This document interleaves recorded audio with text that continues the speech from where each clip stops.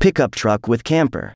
Pickup truck with camper is a pickup truck which is equipped with beds, kitchen equipment, storage, and other living accommodations.